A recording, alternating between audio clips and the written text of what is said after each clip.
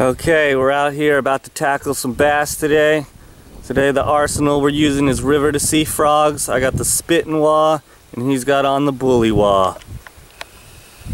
These are awesome frogs and of course got them teamed up on there with Phenix, Lew's. I got my Abu Garcia Phenix M1. So, you know, we got the right tackle, we got the right rods, so we're prepared handle any bucket Hopefully that comes our way. We're at the right spot helps too. So. Yeah. We're gonna give it a whirl, see what happens. All right. Put them to the test. Let's do it. Uh, frog did something we didn't know it did. So check this out. After twitching it and it becomes stationary with it, or really, the frog actually pokes up like a real bullfrog. Yeah. It's like it's just relaxing like normal yeah. bullfrogs do. Yeah, we were watching one watches last week, you know, just like that. I think that's a great feature, by the yeah. way. River to sea. Yeah. Uh, hopefully we'll be back with the fish, though. That's what we're here for.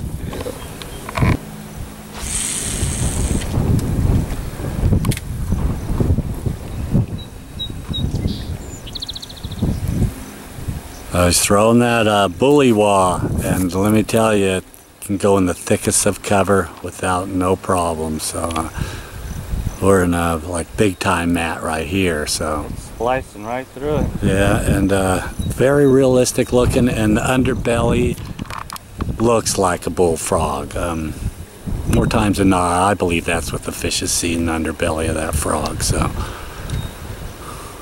not always.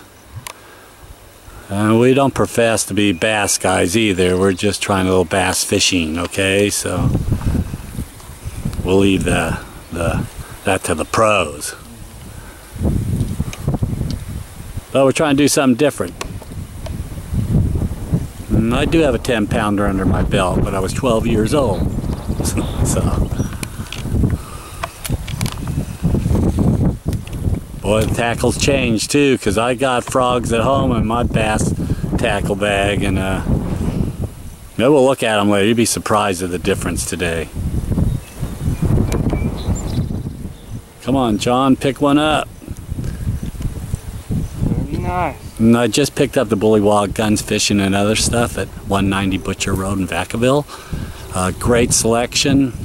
Um, the best selection in this area, I can tell you that much. Can't speak for elsewhere, but if you're in Solano County, guns fishing and other stuff. Vacaville. Oh, Mr. Bucket. Man, I can't believe it ain't getting a bite. Look at this stuff. I mean, this is true matting. Uh, actually, cover for. Yeah, and actually got a little flow to it too. This is not some stagnant water. This is irrigation water.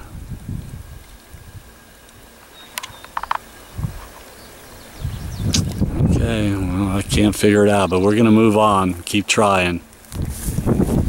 And uh, see, there's where it's coming from, right there. Beyond that, it goes to slough, so. Oh, okay, it's going out, and he said, okay, well, uh, while I was filming the backside of us, John did catch something. Real a bullfrog. Bull. Uh, yeah, they are uh, cannibalistic on their own, so. Well, that's how realistic it is. I mean, we wanted a big bass, yeah. but you know what?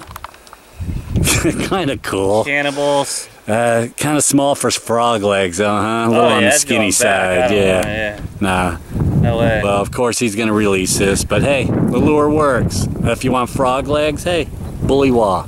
yeah. okay, well, we're going to try and catch a bass, and of course he's going to throw the yeah the frog back, the, the live one. Back. So, oh well. We'll try again.